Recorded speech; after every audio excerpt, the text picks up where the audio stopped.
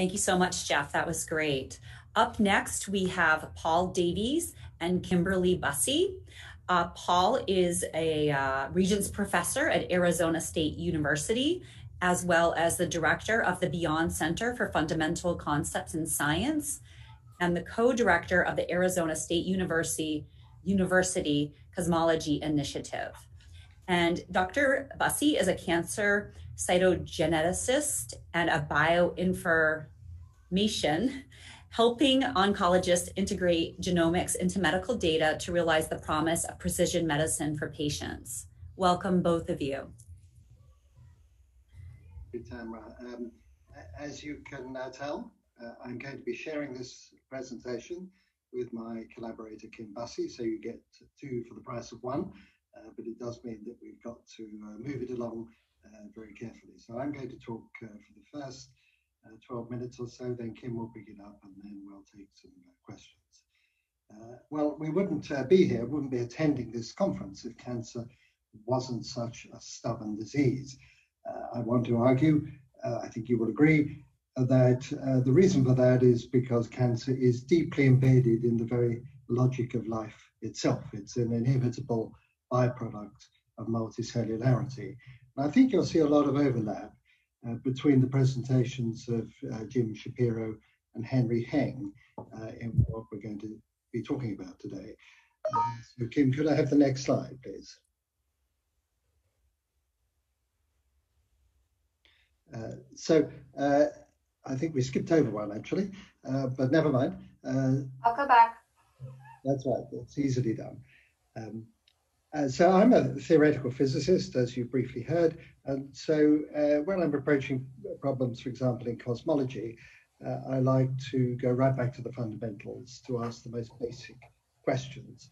And so when it comes to cancer, uh, I realize that it is a disease to be conquered, but in uh, my interest lies with what is cancer as a biological phenomenon. It is the most studied phenomenon in biology uh, and we want to answer the question, well, what is cancer? Why does it exist in the first place? And what is its place in the great story of, of life on Earth? Uh, and next slide uh, shows uh, just symbolically that I think cancer is a, is a window on the past. Studying cancer tells us something about life in our deep past. Uh, so it provides that window, uh, and we have to look through that window to come up with a full understanding. Now, why do I say this? Well, in the next slide, uh, this is uh, produced by uh, my ASU colleague, Athena Aktipis, and her collaborators. Uh, this shows cancer across all multicellular species. Uh, there's not enough time to go into the full details there, uh, but by and large, what it shows is that cancer is found pretty much in um, or cancer or cancer-like phenomena pretty much uh, across the board. And in the next slide, you'll see uh, just uh, representing uh, fish uh, or, or, mammals, uh, birds, reptiles, insects, even corals, and, and cancer-like phenomena in some plants. It, we have a particular fondness in Arizona for this particular cancer. Uh, this is uh, what is known as a, a uh, cactus, and it, it is a cancer-like phenomenon. rather, rather beautiful. These are collector's items, and at ASU we even have a special cancer garden that features some of these as a way of getting people to think about cancer as a fascinating biological phenomenon as well as something that we need to understand and control better. Uh, now, if you uh, find that uh, the, an example of cancer or of any biological phenomenon across many, many species, uh, even species as simple here as uh, Hydra, which has very few cell types. So this is not a very complex organism, uh, and yet there are examples of cancer that have been found there, in this case studied by by uh, a, a, German group, uh, Domas, I can never pronounce it properly, Domazet, Domazet, I apologize, uh, Lozo uh, in, uh, in Germany. Uh, if you if you see cancer across many species, including very simple uh, species like this, it suggests very deep evolutionary roots. Uh, and we must always remember uh, Dobzhansky's dictum uh, that uh, nothing in biology makes sense except in the light of evolution. Uh, and that is uh, our take on the origin of cancer. Uh, we have to trace its uh, deep evolutionary roots and understand uh, why it exists. Uh, multicellularity evolved uh, several times, actually, between about one and a half billion and 600 million years ago in, it, in its various forms. And so if we are tracing cancer across the tree of life back to some sort of common root, then we're going back not just millions of years uh, or even uh, tens of millions of years, but uh, literally uh, hundreds of, of millions of years. Um, and uh, rather than seeing uh, a malignancy, malignancy, as a consequence of Darwinian microevolution driven by stochastic mutations, it can be considered the result of a programmed response illicitly accessed by a few key mutations. Uh, this program appears to have been imprinted uh, through evolution to cope with DNA damage and stored in the evolutionary memory of the genome. And uh, you may have heard those words before because Jim Shapiro was quoting the paper by Erenpreisa and Craig, uh, Three Steps to the Immortality of Cancer Cells. Uh, and that uh, pretty much uh, expresses our take on this subject. Uh, the way we like to uh, put it is that cancer is the re-expression of an ancestral phenotype, a sort of atavism or throwback, in as much as the ability of cells and tissues to develop cancer is something that is deeply embedded and has been for hundreds of millions of years. And that's what makes it so hard to shift. Uh, I um, have a, a particular uh, analogy that I sometimes use, which is that cancer is a, a little bit, bit like safe mode on a computer. You know, if you do something bad to your computer, if you insult it in some way, uh, it will often start up in this uh, horrible manner and you don't quite know what to do. Um, what, what's happening there is that it's running on its core functionality. It's defaulting back to the, uh, to the basics. And I think of cancer is very much the same way.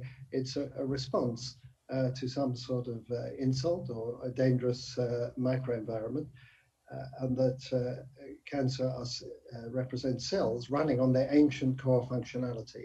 And the more recently evolved, as it were, bells and whistles of evolution get discarded as a result of that. So cancer is therefore a type of atavism back to the simpler unicellular origin. Cells, uh, somatic cells in multicelled organisms haven't forgotten their unicelled uh, origins. Um, now, this is not uh, a, a, particularly new idea. If we can have the next uh, slide. Um, it uh, goes uh, back 100 years to, to Boveri, who wrote the following.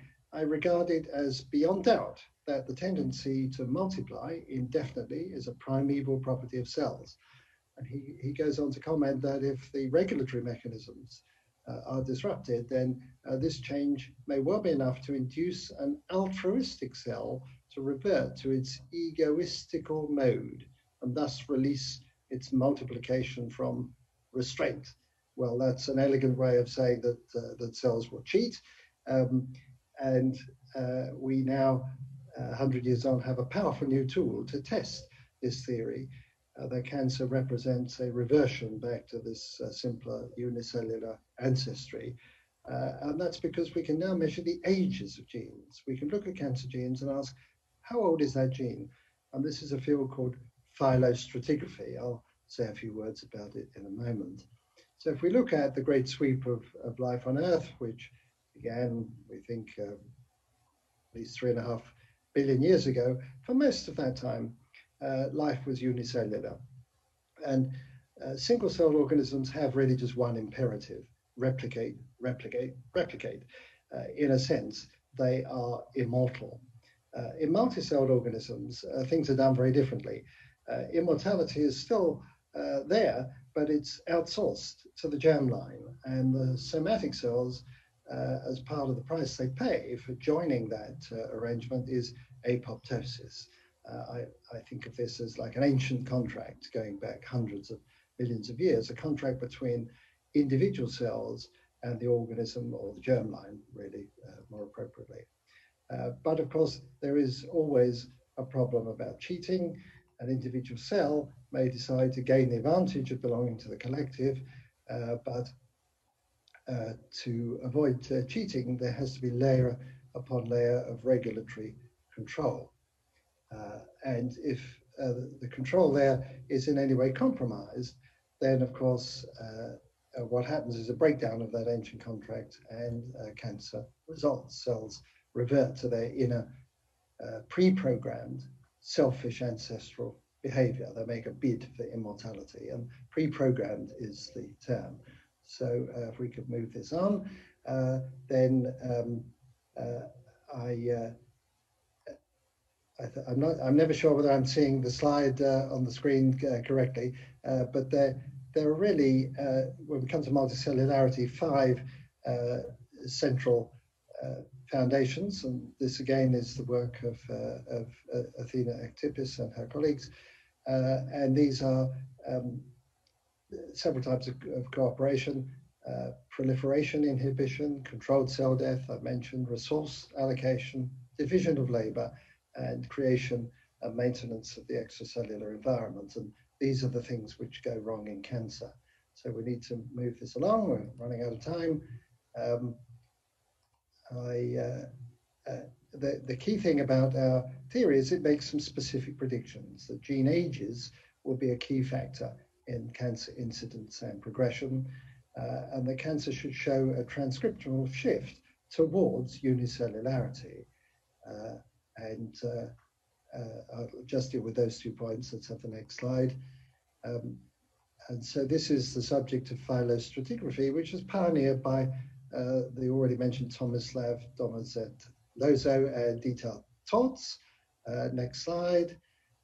Um, and uh, this is a sample of, of their paper. Uh, well, if you apply uh, phylostratigraphy to um, oncogenes, it reveals a large peak around the origin of multicellularity, which you can see uh, just briefly in the next slide. 21. Uh, one with the graph uh, here. Um, there we are. Uh, and uh, there are two peaks, one around the origin of, of cellular life, one around the origin of multicellularity.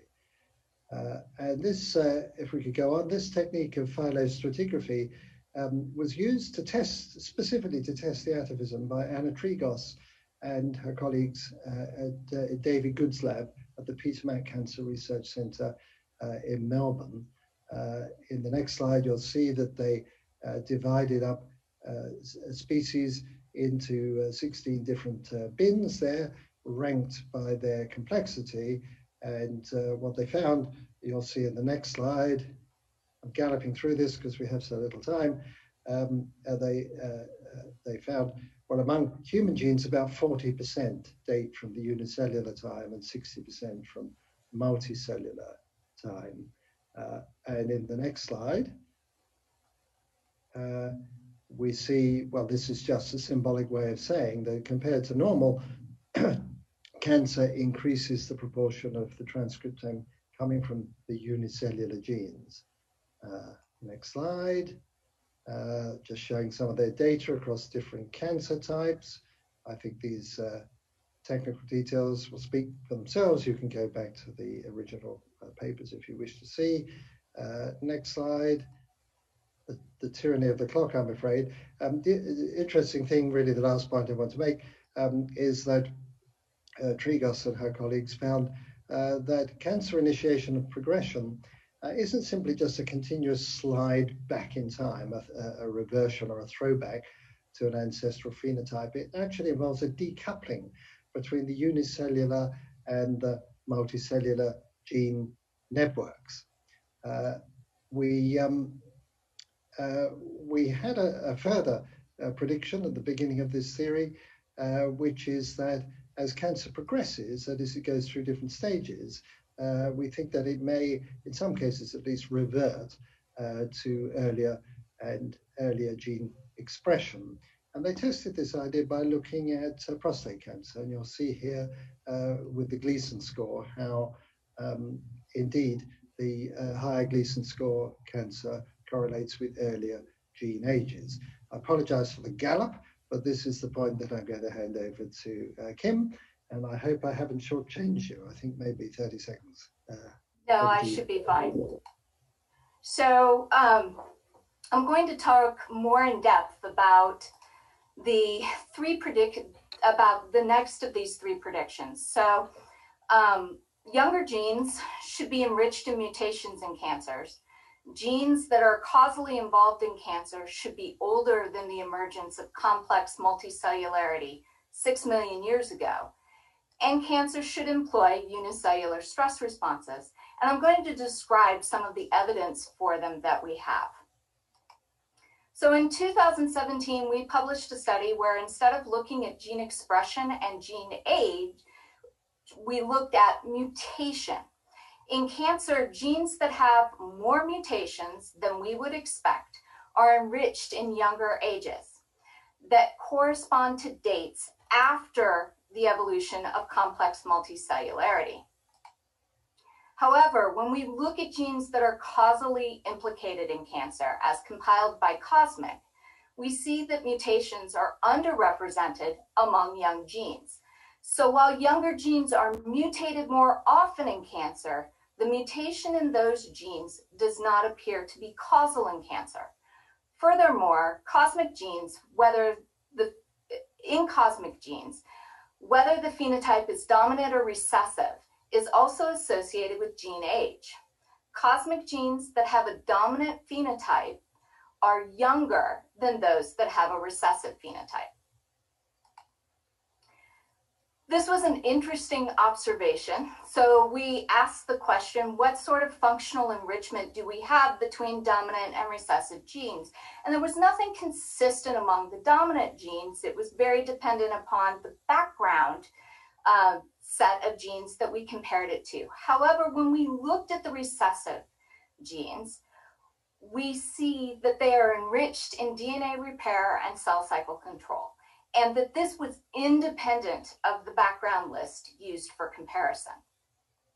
The DNA repair genes that are mutated, as we dug further into this, are ones that regulate the sensing of DNA damage and the choice of repair pathways to fix it during the time that we were doing this work, I heard Susan Rosenberg talk about her group's work on adaptive mutation, fueled by a stress-induced mutation response. As a reminder, when bacteria are faced with DNA damage that includes double-strand breaks, while also being under environmental stresses sufficient to induce the SOS response, RPOS, and the membrane protein response, they switch to using DNA polymerase 4, which is encoded by DINB as the replicative enzyme. This activity results in amplifications and clusters of mutations around double-strand breaks with a distinct spatial distribution in the genome. In humans, the translesion DNA polymerases are orthologous to DINB. So has cancer switched back to using stress-induced mutagenesis? This is an example of a karyotype from a malignant pediatric germ cell tumor. It has both numerical abnormalities denoted by the orange arrows and several structural abnormalities shown by the red arrows. These structurally rearranged chromosomes are a record of double-strand DNA breaks where repair didn't restore a normal chromosome. Over to the right, you can see how a cytogeneticist describes this abnormal karyotype in writing. I want to draw your attention to this CP7, which indicates that this abnormal karyotype is a composite of all the abnormalities seen in seven cells. More importantly, it means that no two cells looked exactly alike. Structural heterogeneity is associated with resistance to several compounds in the NCI developmental therapeutic screening data for the NCI 60. So from the cytogenetic data, we have evidence of ongoing double-strand breaks, which confers a potential fitness advantage under treatment. Given this, we hypothesize that cancer is redeploying stress-induced mutagenesis. We weren't the only ones. The idea that cancer is employing stress, mutagen- stress-induced mutagenesis has additional support. Three papers published in the past year all implicate stress-induced mutagenesis and adaptive mutation in cancer's response to therapy and provide evidence that the mechanism is tied to the activity of translesion polymerases. If this is true, then there should be a telltale sign in the genomic data. Remember that I said that stress-induced mutagenesis leaves behind a cluster of mutations with a particular spatial distribution around double-strand breaks. The genomic signal we are after is in the shape of mutational clusters observed in tumors. Luis Cisneros and I developed a way to look at how NS SNVs are distributed within a cluster. If they're uniformly distributed, as in the top, then the score is close to zero. If they show a tendency to be toward the center and not at the ends, in the middle figure, then the score is positive. If they are at the ends, the score is negative. In bacteria, stress-induced mutagenesis results in clusters with distributions like the middle panel. If stress-induced mutagenesis is active in cancer, we should see positive CIS scores. And positive CIS scores are exactly what we see. Furthermore, we evaluated the role of different mutational mechanisms in contributing to that score and the shape of the clusters we observed in whole genome sequencing data from PCAWG. We computed the overall CIS scores using only SNVs with an assigned mechanism. In this analysis, mechanism is assigned based on having specific wild type contexts and the corresponding mutations for the polymerases where this particular combination of wild type and mutant leads to an unambiguous assignment. This means this is a conservative analysis. As you can see, the overall CIS score is best recapitulated by those SNVs that can be attributed to translesion synthesis polymerase activity. A similar pattern is seen in the data from David Thomas's group from the experiments where they used treatments that did not target DNA and selected for resistance. We see clusters with shapes indicative of stress-induced mutagenesis and translesion synthesis is the most likely mechanism contributing to that. The CIS score has clinical implications. The score can be computed by taking all clusters into account all at once representing the average shape of a mutational cluster in a tumor, or by computing a score for each individual cluster separately. In this latter case, we can look at the interquartile range, representing the middle 50% of the cluster shapes. When we look at overall CIS, we see that in primary tumors, more peaked, i.e. more positive plus CIS scores, actually confer better survival. However, the inverse is true in recurrent or metastatic tumor samples. In these samples, large CIS scores predict worse survival. When we look at cluster shape heterogeneity as measured by the CIS IQR, we lose the distinction between primary and metastatic disease.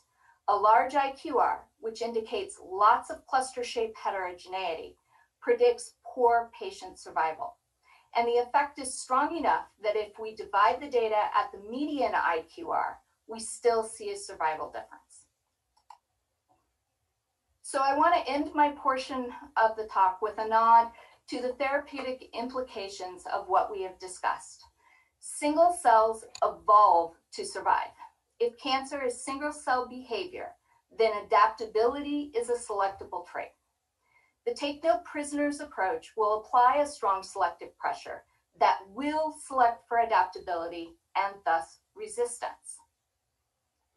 To take advantage of adaptability, we should think about what multicellularity buys a cell and create therapies that select for those behaviors rather than selecting against unicellular behavior.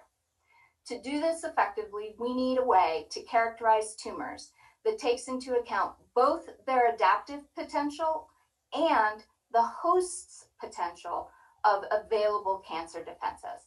And with that, Paul and I would be happy to answer questions.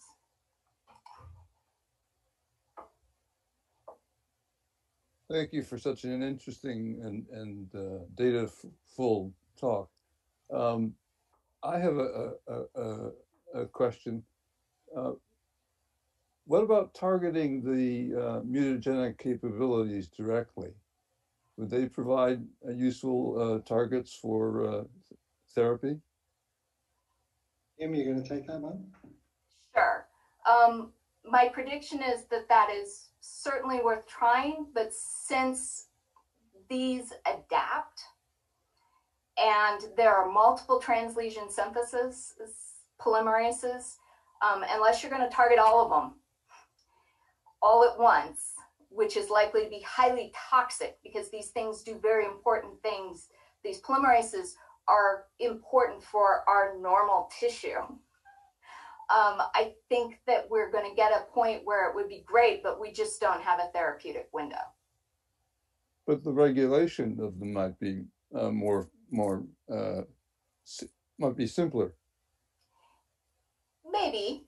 Um, I think that this argues that we actually need, so I didn't show it, but we see um, evidence of these clusters and with positive CIS scores of the same shape in normal tissue as well. So I, I we've got to figure out what it's doing in the multicellular context before we start saying, well, can we target it um, in this unicellular context and not induce more problems than we solve? Thank you. Um, are there any more questions on the chat? Uh, I, I, don't see any. Paul, so one of the questions on the chat is, can the same analyses, young versus old genes, be applied to epigenetic changes? If somebody can give me a list, yes.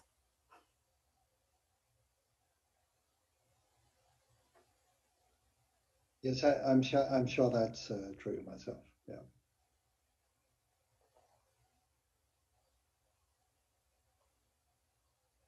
I can uh, just read this one question for for you, James. Um, Vincent Ling asks, in studies I have read, uh, RE creating radiation resistant E. coli as the bacteria evolved to be more radio resistant, the less fit the mutant progeny became to survive in normal envir- in the normal environment because pathways were were diverted. But in cancer, this doesn't happen. Um, that's the comment. Uh, could you? What do you think about that? My, my first thought is that uh, the, the, basic idea here is that uh, we, we, are uh, reverting from multi-celled uh, organization and control back to single-celled. Uh, E. coli, of course, unicellular to start off with. Uh, the further insult to unicellularity, uh, I'm not sure I have anything to say on that uh, front. How about you, Kim? Um, I think part of it is also that that the selective pressures you can apply to E. coli for radio resistance, um, you run into toxicity with that in patients. So part of the reason we don't see it in cancer may just simply be because we can't apply a strong enough selective pressure over time for it. Um, I don't know that anybody has tried those experiments. I'd be interested to know if anybody else knows um, in vitro in a model system. Um, because if they have, then that would be an interesting look to ask the, the question of how far can you push a cancer cell into radio resistance and how badly does that then impact their um, fitness when they're in a, a normal tissue environment. Well, it's, it's interesting that in that regard that the, the uh, polyploid cells, and maybe we'll hear about this tomorrow, uh, are much more radio resistant because they're not actively dividing. Mm-hmm. And, and I would say about the, the E. coli that, that uh, the repair functions are all controlled by the, the RecA-LexA uh, path system so that they're not uh, uh, deleterious to normal growth. They're, they're activated when they're needed. Right. Right. Well, thank you so much for all that interesting work. We had to compress uh, so much uh, data into such a little amount of time, but, uh, well, but, but the publication will give people an opportunity to see that at more leisure uh, later on.